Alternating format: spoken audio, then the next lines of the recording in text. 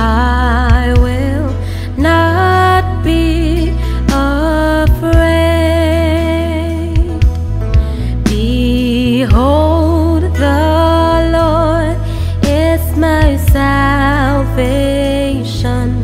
I put my